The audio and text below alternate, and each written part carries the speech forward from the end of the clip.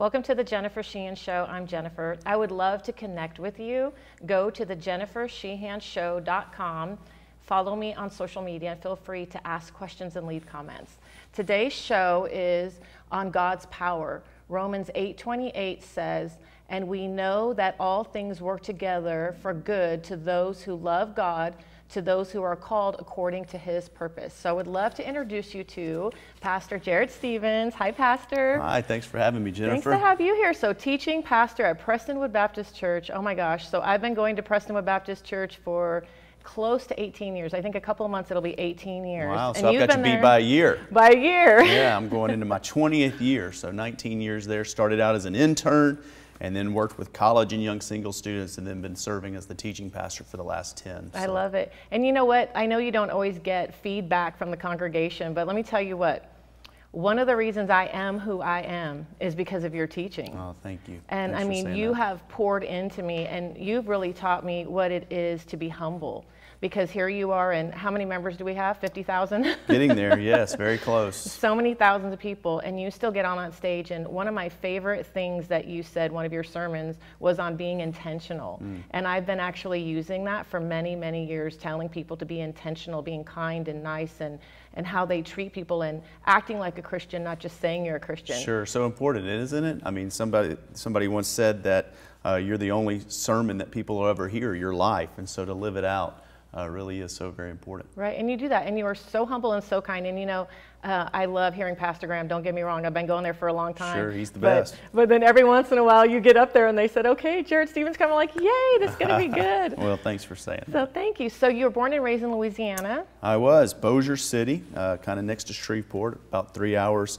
uh, east of here of Dallas, and uh, yeah, great family and great childhood growing up. Right, and so your parents were Christians? They were. They led by example, talk about living the message out. My dad was my hero.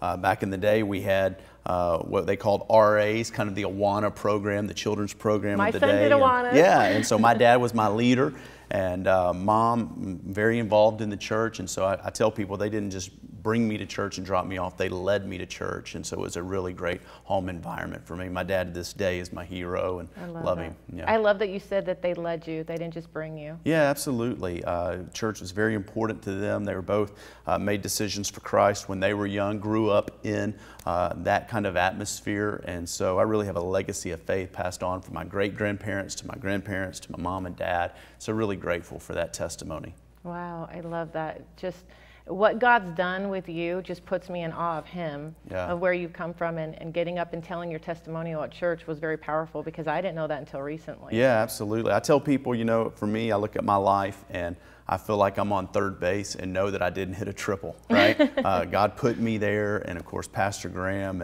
has been so good to me, and, and really am humbled and honored uh, to be able to do what I get to do every single day. I wake up to this day uh, when I pull into the church parking lot. I think, God, what are you doing? I can't believe I get to do this. I mean, I've, I've sensed a call to ministry since I was 17 years old. Wow. I trusted Christ when I was 11, uh, right. August the 3rd, 1989.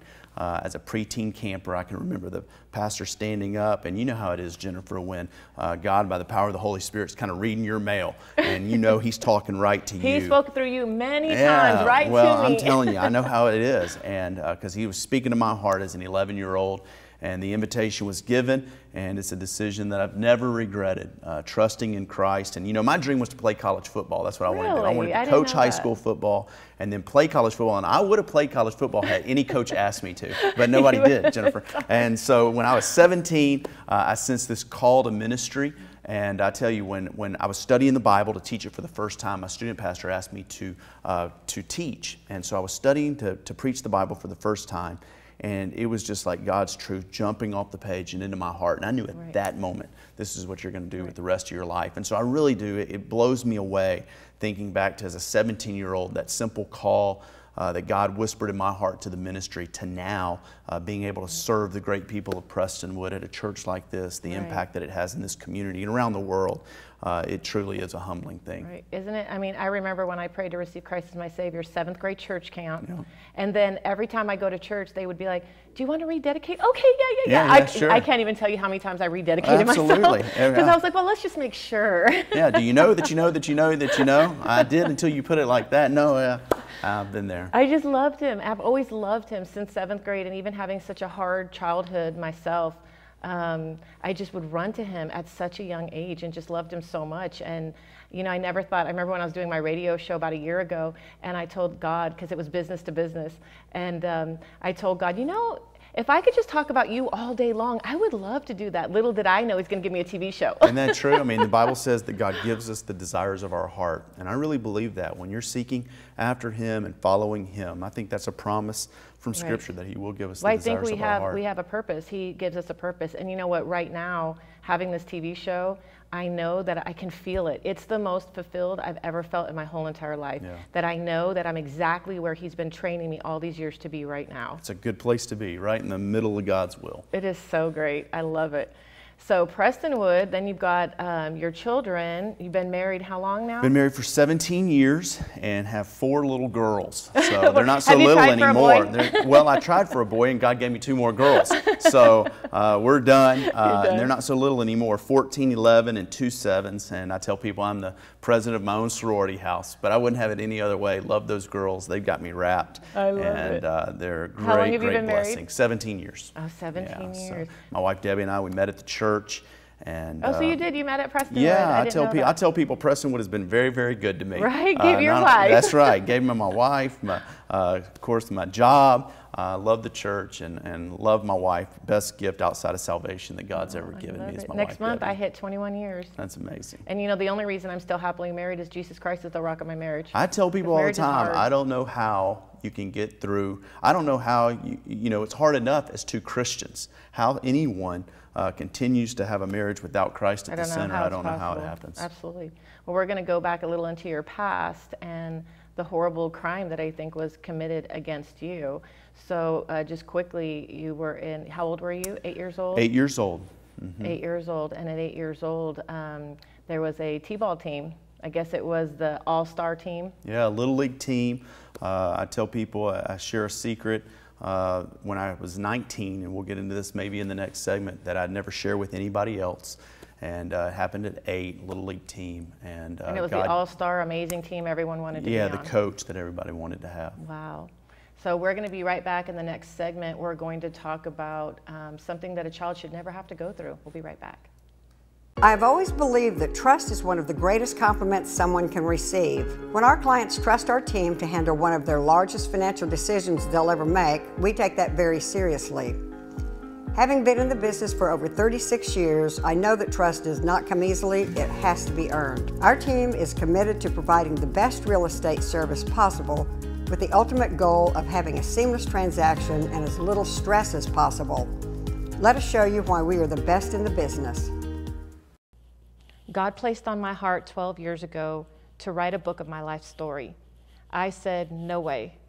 First of all, I don't want my painful past out to the public. Second of all, I'm a horrible speller. And third of all, I don't have the desire or time to write a book.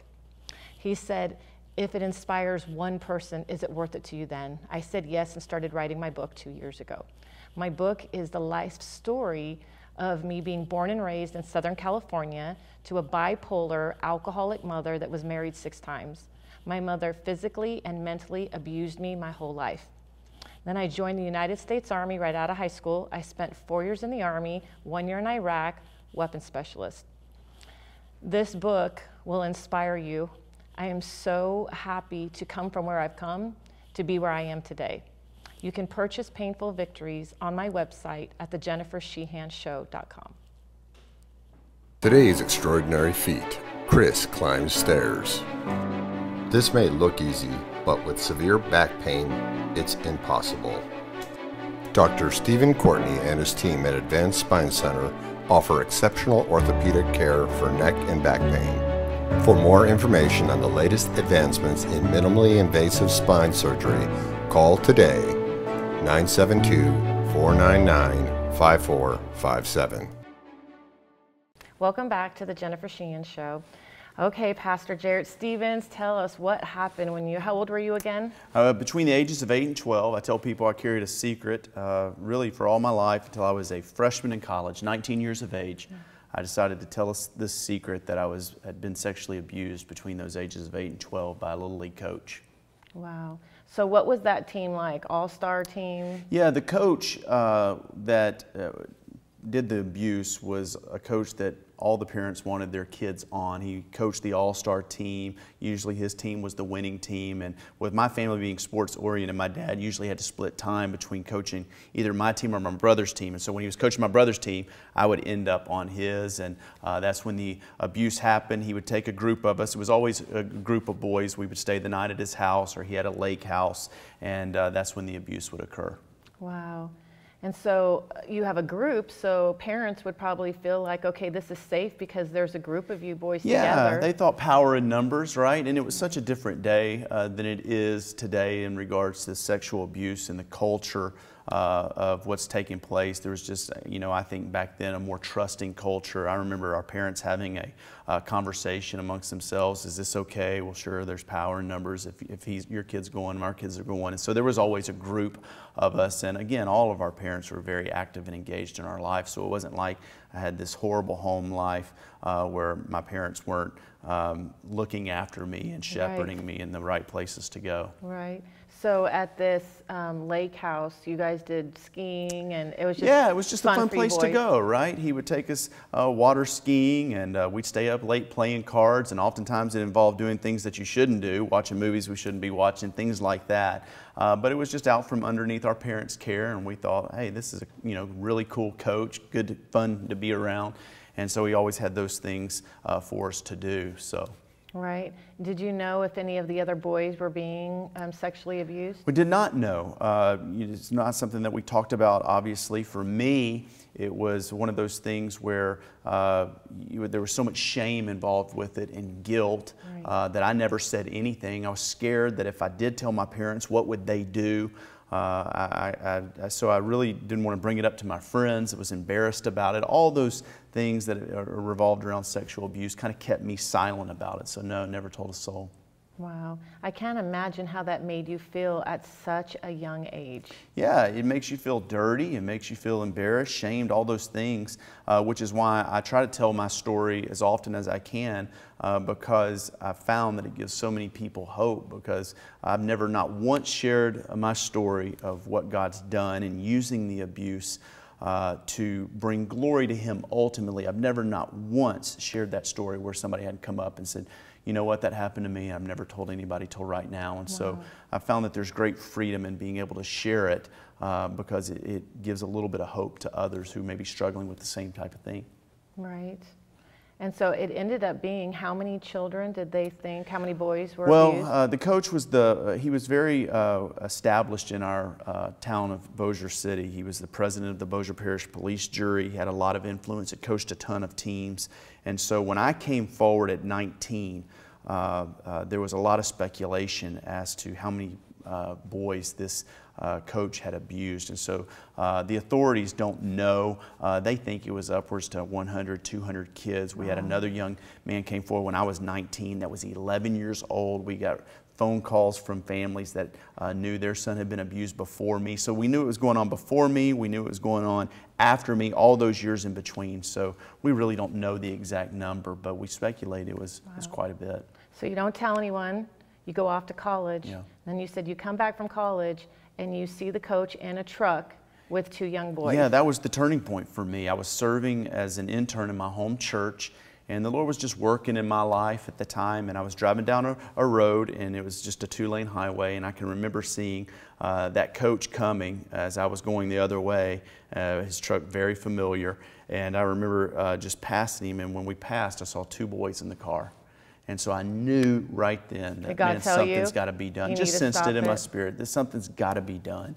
And so that's when it really, the wrestling really began with going, I'm going to tell this deep, dark secret that I've never told anyone in all of my life. God, how on earth am I going to do this? Right.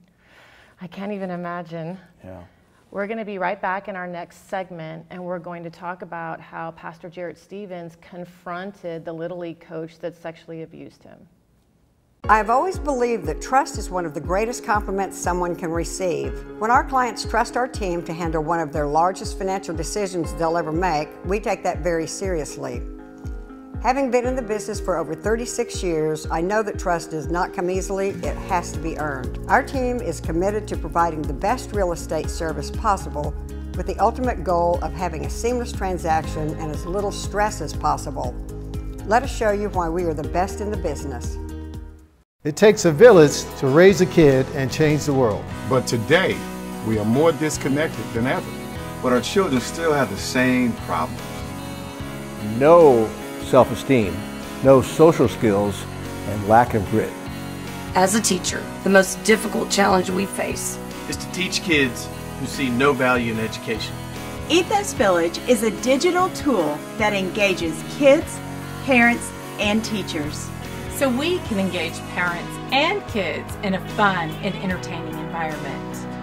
And this great curriculum is highlighted by experienced parents, professional athletes, and celebrities that tell the real life stories. Stories of struggle and success. That show kids, parents, and teachers the sky's the limit. Visit www.ethosvillage.com. Join the village, Ethos Village. Today's extraordinary feat Chris climbs stairs. This may look easy, but with severe back pain, it's impossible. Dr. Stephen Courtney and his team at Advanced Spine Center offer exceptional orthopedic care for neck and back pain. For more information on the latest advancements in minimally invasive spine surgery, call today 972 499 5457. Imagine a global movement of people coming together to feed the hungry, to serve the poor, to celebrate that day is coming. The Jennifer Sheehan TV show is real people with real stories of redemption, miracles, and overcoming. This is a TV Christian show that gives God all the glory. The show is a 501c3 nonprofit, giving back 100% of donations towards the Jennifer Sheehan TV show. We also partner with Operation Care International serving and supporting the homeless. In a world that is spreading fake hope, only Jesus Christ and the Holy Bible have the supernatural power to change people and their circumstances. Production for the Jennifer Sheehan TV show is extensive, and we need partners to keep it on air. If you believe in our cause, please prayerfully consider to be a partner for a $20 donation a month or more. May God bless you. Welcome back to the Jennifer Sheehan Show. So, Pastor Jarrett, what happened when you confronted him? Well, first you had to tell your parents, right? Yeah, so, uh, you know, really wrestling with the Lord, uh, know that He's speaking to my heart on bringing what has happened in my life, this dark, dark thing that has happened in my life, into the light and just knew uh, compelled to, I've got to share this with someone. And so God had put a mentor in my life, a, a student pastor uh, that had walked alongside of me for a number of years that I really trusted. And I called him and uh, just said, Hey, I need to come by your office and just need to share with you something that uh, has happened in my life and just needs to be private, me and you. And uh, he said, Sure, come on down. And I kind of made a deal with the Lord that when I share this secret, uh, God, this is bigger than me. Right. And so here's what I'm going to do I'm going to trust that whatever the person I tell uh, informs me to do, tells me to do, I'm going to trust that's from you because I, I, it's too big for me to try to wrap my mind around and my arms around. So, whatever this person tells me, I'm going to do it. And whatever the next person tells me, I'm going to do that and just receive it as being from you. And so, uh, I called my mentor, said, uh, Can I come by? He said, Of course. And I can remember walking up to his office, it was upstairs. and and I can remember just my heart beating because I'm about to share this story that I've never told anyone. Right. And uh, I proceed to tell him, and he was so wise. He said, Jarrett, you're 19 years old, uh, you're an adult, you don't have to tell anybody this. If this is where you want to leave it, then that's fine. He said, but I really want to encourage you to tell your parents. And that was the one thing I didn't want to do. Right. Uh, because I just knew it would break their heart. It would Right. break their heart as close as we were as a family. And but uh, again, I'd made a deal with the Lord. God, I'm gonna I'm gonna do what you tell me to do through this next person. And so uh, I can remember it was a Wednesday. I leave uh, my mentor's office and I go into a little prayer room in our church, Jennifer. And there's a there's a scripture you quoted from Romans chapter 8, verse 28 at the start of this segment. And there's a verse in Romans 8 that says, "When we don't know what to pray for, the Spirit intercedes for us." And uh, it was one of those moments. I go into this little prayer room and I lay flat on the ground and I don't even know what to pray for. I can't believe I'm going to tell my parents this evening Right. and stuff is happening so fast. And I just remember laying flat down on my face and I couldn't even say a word, but I just know in that moment I'm confident that the Spirit of God was praying for me in words that I couldn't even express. And I remember going to my parents uh, after church that evening and saying, Hey, I need y'all uh, to come home. I need to talk with you about something. I knew they knew something was up because that just wasn't us. They would go out to eat with a family, same family every Wednesday night. I usually had events that I was going to. And so I know that made them nervous. And uh, I can still remember them pulling into my driveway at my house, and my student pastor was there with me. He had said, I'll be there with you. And so we go into the living room.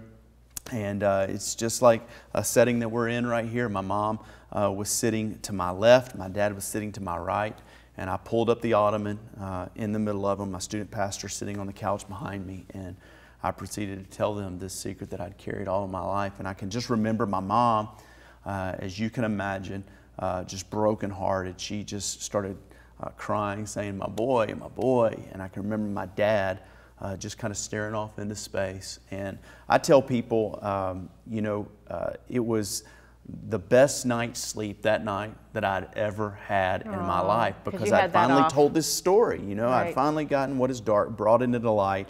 It was the best night's sleep I've had, I can ever remember having, but probably for my parents, the worst night's sleep that they had ever had. Right. And so that began the process. And I, like I said, I, I was going to to the do what the next person was going to tell me to do. And that's what my mom and dad uh, wanted to do. They wanted to go to the police. Uh, the chief of police uh, was a family friend of ours. His son had actually played on the same teams as I did growing up. They knew who this coach was. Their son wasn't abused, uh, but they knew who he was. And so I tell them on a Wednesday, on a Sunday night, the chief of police is in my house, and I proceeded to tell him everything. And he just said, Jarrett, we're going to get him. And uh, I didn't know what that meant, Right. uh, but he said, we're going to get him. So you pray, you'd already forgiven him. Yeah, I'd forgiven him in my heart. Uh, you know, I'd worked through this from ages Right. 8 to 12, and just as God had worked this call to ministry in my life and just progressed through the years, I had worked this forgiveness in my heart. Before you admitted it to your family. Yeah, I think so. I'd had all this time to process it. Right. And then the police say, Jarrett, we're going to get him. I didn't know what that meant. I was serving at my home church as an intern, and I got a call from them that said, hey, uh, we want you to go uh, under the wire, and we want you to confront him. And I said, okay, because I'd made a deal with the Lord, whatever the next person says. And so now the police is saying, we want you to go under wire. And so my deal that I'd made uh, with the Lord, I said, okay, I'll do this. Uh, but my heart going into it was, I'm going to get the information that you need. Uh, but I'm going in to personally forgive him. That's what's going to give me the uh, power and the courage to go in because I really see it as a David versus Goliath thing. I didn't know what he was going to do. He was an outdoorsman. I knew he had guns in the home. I just didn't know. Right. Uh, and so I was going in to forgive him. And that's exactly what happened. Right. And you forgave him. Yeah. And then he got sentenced to how long? 40 years? Yeah, he was sentenced to uh, 40 years in prison, eligible for parole after 12. And uh, again, an 11 year old boy had come forward. All this was in the papers, it was very public news. Right. And so during that process, an 11 year old boy had come forward. And uh, he's the one that really uh, put him in prison because my statute of limitations was up. right. And so uh, we were ready to take it to court, but uh, I didn't want that because of the courage of that 11 year old. I didn't want uh, to put him on the stand if he wasn't ready. And so his family, they decided to make a plea. And so, with my testimony, with his testimony, he was uh, sentenced to 40 years in prison, eligible for parole after 12. And then there were some other things that he had to do in, in order to, to Well, for this plea bill to go down physically castrated by the state of uh, Louisiana. yes, and so uh, again, it was uh, you know very public, and um, there was an outcry uh, just because of all the abuse that Right. you know all the kids that he had coached in the cases that he thought. So uh, he was sentenced to prison, and uh, that's exactly what took place. Uh, he went to jail, and um, uh, I believe that in giving grace, but I also believe in justice. Right. And so I believe So you went back to served. his um, hearing. He had a hearing to get out early, and you went back saying that he Yeah. should serve his sentence. Yeah, went back and just said, uh, you know, I, I just believe uh, he should serve his sentence, no more, no less. And he was denied parole, and then eventually, uh, yeah, So he served his released. 40 years. Uh, served uh, for about 15, I believe. Okay, 15 years, Yeah. and was castrated by the state and Yeah. and justice. And so I'm not happy that you went through that. I'm sorry you went that through sure? that, but I'm so glad that you're able to use this and and help others. And then also you have a book here. Yes, uh, the mountains are calling. I write about uh, what we've talked about today, the situation in chapter three, uh, where I relate Elijah going up to Mount Carmel. We all know the story of Elijah calling down the gods, and we love that whole picture of, of the prophet of God going up to the mountaintop. But he also, before he went to the mountaintop, had to go to a place called Cherith and Zarephath which means Cherith is to mean cut down, Zarephath to melt or to smelt. And so my story is listen, oftentimes before you get to the mountaintop, you have to go to the places of brokenness, and I write about it in The Mountains Are Calling. I love it. Thank you so, so Sure. much for Thanks for coming on my me. show and sharing. And thank you for inspiring others and pouring into me all these years. A lot of who I am is because of you. So I just appreciate you so much for sharing. Thank Thanks for you. having me. Thank you. We will be right back. I would love to share with you how you too can experience God's power. I've always believed that trust is one of the greatest compliments someone can receive. When our clients trust our team to handle one of their largest financial decisions they'll ever make, we take that very seriously. Having been in the business for over 36 years, I know that trust does not come easily, it has to be earned. Our team is committed to providing the best real estate service possible with the ultimate goal of having a seamless transaction and as little stress as possible. Let us show you why we are the best in the business. Today's extraordinary feat Chris climbs stairs. This may look easy, but with severe back pain, it's impossible. Dr. Stephen Courtney and his team at Advanced Spine Center offer exceptional orthopedic care for neck and back pain. For more information on the latest advancements in minimally invasive spine surgery, call today 972 499 5457. Welcome back. You too can have that power from God. If you haven't prayed to receive Jesus Christ as your Lord and Savior, pray with me. Jesus, I know you died on the cross for my sin. You rose again on the third day. Forgive me for my sin. I receive you as my Lord and Savior. It's in Jesus' name I pray. Amen. Tune in next week. We have an amazing show on hope. See you next week on The Jennifer Sheehan Show.